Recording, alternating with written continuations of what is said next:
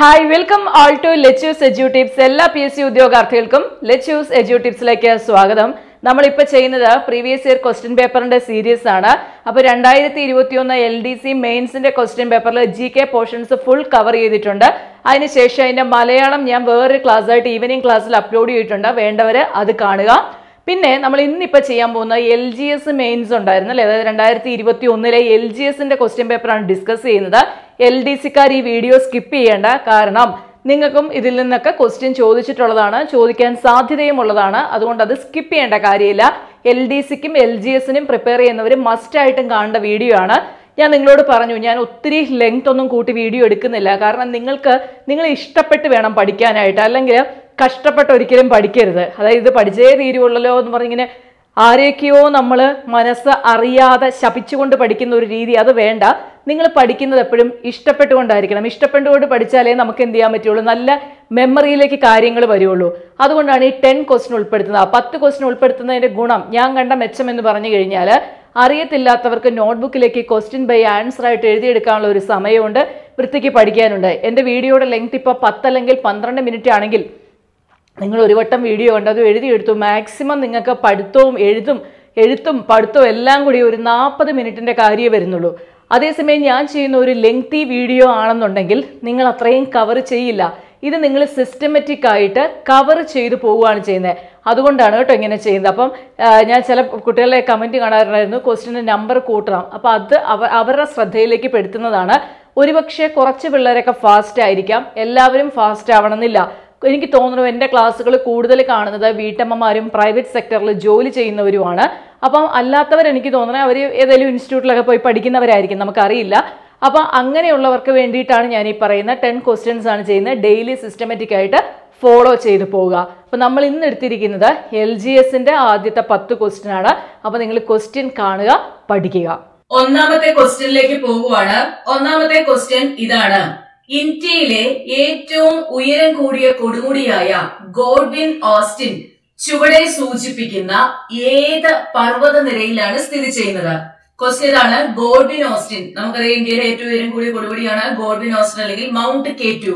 ഇത് ഏത് പർവത നിരയിലാണ് സ്ഥിതി ചെയ്യുന്നത്? ഇത് ഒരു S C R T question ആണ് കേട്ടോ. S C R T question ആണ് ഹിമാചൽ ഹിമാദ്രി കാരക്കോറം സിവാലിക്ക നമുക്കറിയാം നമുക്ക് ഹിമാലയത്തെ പല ഡിവിഷൻ ഉണ്ട്. പല രീതിയിൽ നമ്മൾ ഡിവൈഡ് ചെയ്യാറുണ്ട്. അല്ലെ? ഹിമാചൽ ഹിമാദ്രി സിവാലിക് എന്ന് പറഞ്ഞൊരു ഡിവിഷൻ ഉണ്ട്. അതല്ലാതെ നമ്മുടെ നോർത്തേൺ മൗണ്ടൻസിനെ നമ്മൾ പല റേഞ്ച് ആയിട്ട് ഡിവൈഡ് ചെയ്യാറുണ്ട്. അതിൽ കാറക്കോറം റേഞ്ചിലാണ് എന്ത്? ഇന്ത്യയിലെ ഏറ്റവും ഉയരം കൂടിയ കൊടുമുടിയായിട്ടുള്ള ആര്? ഗോഡ്വിൻ ഓസ്റ്റിൻ സ്ഥിതി ചെയ്യുന്നത്. അപ്പൊ ആൻസർ എന്താണ്? കാറക്കോറം. ഓർത്തു വെക്കുക. നിങ്ങൾ പറ്റുമെങ്കിൽ ബുക്കിലേക്ക് എഴുതി എടുത്തോ ഇന്ത്യയിലെ ഏറ്റവും ഉയരം കൂടിയ കൊടുമുടി. Godwin Austin. ഗോഡ്വിൻ ഓസ്റ്റിൻ ഏത് പർവത നിരയിലാണ് സ്ഥിതി ചെയ്യുന്നത്? കാർക്കോറം. ഇനി മറക്കരുത് കേട്ടോ. ഇത് S C R T question ആണ്. അല്ലാതെ നമ്മൾ ജോഗ്രഫിയിലും ഒക്കെ പഠിക്കുന്നതാണ്. ചുവടെ കൊടുത്തിരിക്കുന്നവയിൽ സിന്ധു നദിയുടെ പോഷക നദി ഏത്? യമുന ഗോമതി സത്ലജ് മാനസ്. നമുക്ക് എല്ലാവർക്കും അറിയാം പഞ്ചനദികളുണ്ട് അല്ലെ? അഞ്ച് നദികളുണ്ട്. സിന്ധുവിന്റെ പോഷക നദികളായിട്ടുള്ള പ്രധാനപ്പെട്ട അഞ്ച് നദികളുണ്ട്. ഏതൊക്കെയാ അത്? ആ നമ്മുടെ സത്ലജ് ബിയാസ് രവി ചലം ചെനാബ് ഇങ്ങനെ അഞ്ചെണ്ണം ഉണ്ട് അപ്പൊ ഇവിടെ നമുക്ക് കാണുമ്പോഴേ അറിയാം എന്താണ്? സിന്ധുവിന്റെ പോഷക നദി ഏതെന്ന് ചോദിച്ചു കഴിഞ്ഞാൽ തന്നിരിക്കുന്നതിനകത്ത് ഏതാണ്? സത്ലജ് ആണ് സിന്ധുവിന്റെ പോഷക നദി. ഇത് ടി പുസ്തകത്തിലുള്ളതാണ് കേട്ടോ. അടുത്ത നോക്കിയേ. ഇന്ത്യയുമായി അതിർത്തി പങ്കിടുന്ന ഏറ്റവും വലിയ രാജ്യം ഏതാണ്? Bangladesh China Pakistan Myanmar. ഇന്ത്യയുമായി അതിർത്തി പങ്കിടുന്ന രാജ്യങ്ങൾ ഏതൊക്കെയാണെന്നുള്ളത് നിങ്ങൾക്ക് അറിയാമല്ലോ അല്ലെ? ഇന്ത്യയുമായിട്ട് ആരൊക്കെ അതിർത്തി പങ്കിടുന്നത്? നമുക്ക് ആരൊക്കെയുണ്ട് പാകിസ്ഥാൻ ഉണ്ട് ചൈനയുണ്ട് ഭൂട്ടാൻ ഉണ്ട് അതുപോലെ തന്നെ ബംഗ്ലാദേശ് മ്യാൻമാർ അല്ലെ? ഇങ്ങനെയുള്ള രാജ്യങ്ങളൊക്കെയായിട്ട് നമ്മൾ എന്ത് ചെയ്യുന്നുണ്ട്? അതിർത്തി പങ്കിടുന്നുണ്ട്. അപ്പൊ നമ്മളോട് ചോദ്യം ചോദിച്ചിരിക്കുന്നത് ബംഗ്ലാദേശ് ചൈന പാകിസ്ഥാൻ മ്യാൻമാർ തന്നിരിക്കുന്നതിൽ ഏതാണ് ഉത്തരം വരുന്നത്? ചൈനയാണ്. ക്വസ്റ്റ്യൻ ഇങ്ങനെയാണ്. ഇന്ത്യയുമായി അതിർത്തി പങ്കിടുന്ന ഏറ്റവും വലിയ രാജ്യം വലിയ രാജ്യമാണ് ചോദിച്ചിരിക്കുന്നത്. ഇന്ത്യയോട് അതിർത്തി പങ്കിടുന്നതിൽ ഏറ്റവും വലിയ രാജ്യം ഏതാണ്? ചൈനയാണ്. എസ് സി ആർ ടി ആണ് ജോഗ്രഫിയുടെ ബേസിക് ആയിട്ടും അറിയേണ്ടതാണ് ഇന്ത്യയിൽ ഏറ്റവും കൂടുതൽ കടൽ തീരമുള്ള സംസ്ഥാനം ചുവടെ സൂചിപ്പിക്കുന്നതിൽ ഏതാണ്? കേരളം തമിഴ്നാട് ഗുജറാത്ത് ഇവയൊന്നുമല്ല. നമുക്കറിയാം ഇന്ത്യയിൽ എല്ലാ സംസ്ഥാനങ്ങൾക്കും കടൽത്തീരം ഉണ്ടോ ഇല്ല. അപ്പൊ കടൽത്തീരം കടൽ തീരമുള്ള സംസ്ഥാനങ്ങൾ ഏതൊക്കെയാ വരുന്നത്? ഏതൊക്കെ സംസ്ഥാനങ്ങളിലെ കടൽ തീരം വരുന്നത്? മഹാരാഷ്ട്രക്കുണ്ട് അല്ലെ? നമുക്ക് ആ ഗുജറാത്തിനുണ്ട് മഹാരാഷ്ട്രക്കുണ്ട് ഗോവയ്ക്കുണ്ട് കർണാടകയുണ്ട് കേരളയുണ്ട് തമിഴ്നാടുണ്ട് പിന്നെ കർണാടകയുണ്ട് ആന്ധ്രാപ്രദേശ് ഉണ്ട് ഇത്രയും സംസ്ഥാനങ്ങൾക്ക് അതുപോലെ ഒഡീഷയ്ക്കുണ്ട്. ഇത്രയും സംസ്ഥാനങ്ങൾക്ക് എന്തുണ്ട്? കടൽ തീരമുണ്ട്. ഏതൊക്കെ ഒന്നുകൂടി വന്നേ? ഗുജറാത്ത് മഹാരാഷ്ട്ര ഗോവ കർണാടക കേരള തമിഴ്നാട് ആന്ധ്രാപ്രദേശ് ഒഡീഷ. അല്ലെ? ഇത്രയും പേർ തന്നെയുണ്ട് കടൽ തീരമുള്ള സംസ്ഥാനങ്ങളാണെന്ന് നമുക്കറിയാം. അതുപോലെ തന്നെ നമുക്ക് കടൽ തീരമുള്ള യൂണിയൻ ടെറിട്ടറീസും ഉണ്ട്. അതും ഒന്ന് ഓർത്ത് വെച്ചേക്കണേ. ഡാമൻ ആൻഡ് ഡ്യൂ പോണ്ടിച്ചേരി ലക്ഷദ്വീപ് ആൻഡമാൻ ആൻഡ് നിക്കോബർ ഇവർക്കൊക്കെ എന്തുണ്ട്? കടൽ തീരമുള്ള നമ്മുടെ യൂണിയൻ ടെറിട്ടറീസ് ആണ്. പോണ്ടിച്ചേരി ലക്ഷദ്വീപ് ദാമൻ ആൻഡ് ദിയു ആൻഡമാൻ ആൻഡ് നിക്കോബരം അപ്പൊ ക്വസ്റ്റ്യൻ ആണ് ഇന്ത്യയിൽ ഏറ്റവും കൂടുതൽ കടൽത്തീരം തീരം ഇന്ത്യയ്ക്ക് ഏറ്റവും കൂടുതൽ കടൽത്തീരമുള്ള സംസ്ഥാനം ഏതാണ്? ഗുജറാത്തിനാണ് ഏറ്റവും കൂടുതൽ കടൽത്തീരമുള്ളത് ഇപ്പൊ നമ്മൾ ഈ കണ്ട നാല് ക്വസ്റ്റ്യൻ നാലും ഒക്കെ ഇതിന് മുമ്പും ഒക്കെ പി എസ് ചോദിച്ചിട്ടുള്ളതാണ്. അപ്പൊ ഇതേ ടൈപ്പ് ക്വസ്റ്റ്യൻ നമുക്ക് ഇനിയും ജോഗ്രഫിയുടേതായിട്ട് പ്രതീക്ഷിക്കാവുന്നതുമാണ്. അടുത്തത് ഏറ്റവും കൂടുതൽ അണക്കെട്ടുകളുള്ള കേരളത്തിലെ നദി ഏത്? ഏറ്റവും കൂടുതൽ അണക്കെട്ടുകളുള്ള കേരളത്തിലെ നദി ഏത്? പമ്പ പെരിയാറ് ഭാരതപ്പുഴ ചാലിയാറ്. വളരെ ഈസിയാണ് നമുക്കറിയാം. ഏറ്റവും കൂടുതൽ അണക്കെട്ടുകൾ ആർക്കാണുള്ളത്? പെരിയാറിനാണ് അല്ലെ? അപ്പം പെരിയാറ് എന്നുള്ളതാണ് ഓപ്ഷൻ വരുന്നത്. ഇതൊക്കെ പി എസ് സി ഇതിനു മുമ്പ് ചോദിച്ചിട്ടുള്ളതാണ് കേട്ടോ. അപ്പൊ ഇമ്പോർട്ടന്റ് ആണ്. മറന്നുപോലെ നോക്കുക. അടുത്തത് ഇന്ത്യയിലെ ആദ്യത്തെ ഇക്കോ ടൂറിസം കേന്ദ്രം ഏതാണ്? Thenmala Eravikulam silent valley Thekkady. ഇതുപോലത്തെ ക്വസ്റ്റിനും പി എസ് സി നമ്മളോട് ഇതിനു മുമ്പ് ധാരാളം തവണ ചോദിച്ചിട്ടുള്ളതാണ്. മക്കളെ എന്താണ് ഇക്കോ ടൂറിസം? Eco tourism. പരിസ്ഥിതിക്ക് കേടുപാടുകൾ വരുത്താതെയുള്ള വരുത്താതെയും ആവാസ വ്യവസ്ഥയെ ശല്യപ്പെടുത്താതെയും നടത്തുന്ന ഒരു വിനോദ സഞ്ചാരത്തെയാണ് നമ്മൾ എന്ത് വിളിക്കുക? Eco tourism. അല്ലെ? അതായത് നമ്മുടെ പരിസ്ഥിതിക്ക് ഇക്കോസിസ്റ്റത്തിന് കേടുപാട് വരുത്താതെയും അതുപോലെ തന്നെ അവിടുത്തെ ആവാസ വ്യവസ്ഥയെ ശല്യപ്പെടുത്താതെയും നടത്തുന്ന വിനോദസഞ്ചാരത്തെയാണ് എന്ത് വിളിക്കുക? ഇക്കോ ടൂറിസം എന്ന് പറയുന്നത്. ഇനി ഇന്ത്യയിലെ ആദ്യത്തെ ഇക്കോ ടൂറിസം കേന്ദ്രം എന്ന് പറയുന്നത് ഓഫ് കോഴ്സ് തെന്മലയാണ്. തെന്മല ഏത് ജില്ലയിലാണെന്നൊക്കെയുള്ള രീതിയിൽ പി എസ് സി ഇതിനു മുമ്പ് ക്വസ്റ്റ്യൻ ചോദിച്ചിട്ടുണ്ട്. തെന്മല കൊല്ലം ജില്ലയാണ് കേട്ടോ. കൊല്ലം ജില്ലയിലാണ് തെന്മല. അടുത്തത് എല്ലാ പൗരന്മാർക്കും ഏത് മതത്തിൽ വിശ്വസിക്കുവാനും അത് പ്രചരിപ്പിക്കുവാനുമുള്ള അവകാശമുണ്ട്. ഈ പ്രസ്താവന ഏത് മൗലിക അവകാശവുമായി ബന്ധപ്പെട്ടതാണ്. എല്ലാ പൗരന്മാർക്കും ഏത് മതത്തിൽ വിശ്വസിക്കുവാനും അത് പ്രചരിപ്പിക്കുവാനുമുള്ള അവകാശമുണ്ട്. ഈ പ്രസ്താവന ഏത് മൗലിക അവകാശവുമായി ബന്ധപ്പെട്ടതാണ്. ഇതൊരു എസ് സി ടി ആണ്. സമത്വത്തിനുള്ള അവകാശം ചൂഷണത്തിനെതിരെയുള്ള അവകാശം മതസ്വാതന്ത്ര്യത്തിനുള്ള അവകാശം സ്വാതന്ത്ര്യത്തിനുള്ള അവകാശം. വളരെ സിമ്പിൾ ആയിട്ടുള്ള ഒരു ക്വസ്റ്റ്യൻ അല്ലെ? ചോദിച്ചത് എന്താണ്?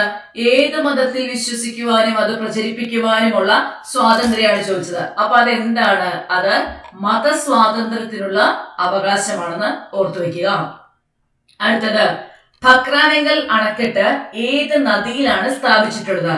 കൃഷ്ണ സത്ലജ് മഹാനദി ഗോദാവരി.